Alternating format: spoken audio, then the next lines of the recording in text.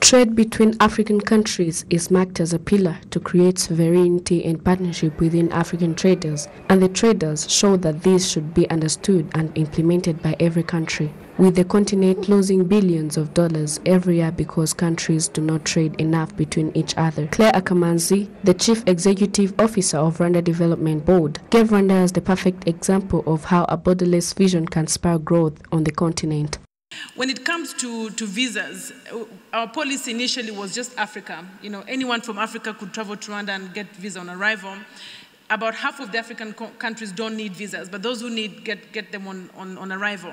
And it, it, it hasn't had any negative impact for us as a country. So there's really no reason to fear, uh, you know, being uh, as open as we've we've, we've, we've, tried to be as a country. So I think the fears are not founded, and, and if, if you need evidence that those fears are really not founded, I think Rwanda is a country to look at. Africa has got 1 billion and 200 million residents, but in 2050 they will increase to 2.5 billion. However, thousands die every year trying to reach Europe, and the business community on the continent has been calling for measures to give a reason to the multitudes who risk their lives living to stay instead we must go to the bottom of why they are migrating.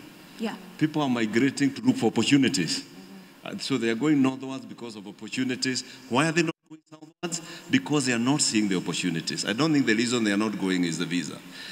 The thing is, bottom line is that Africa must raise productivity. Africa must create employment. Africa must get stuff for the youth to do if we are going to prevent them from, from, um, uh, from going up north.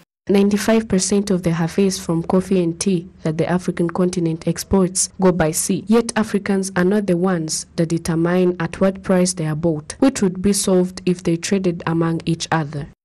I have been brought up in an area where coffee is uh, the, the major cash crop. A farmer is paid 0.5 USD per kg. This coffee is exported then, after a while, I go to the supermarket and I, I buy this coffee, 200 grams, at $3. Does it make sense? Intra African trade is at 16%, while trade between Africa and Europe is at 65%. Economic experts believe that the enforcement of the African Continental Free Trade Agreement would increase trade on the continent between countries by as much as 60% by 2022.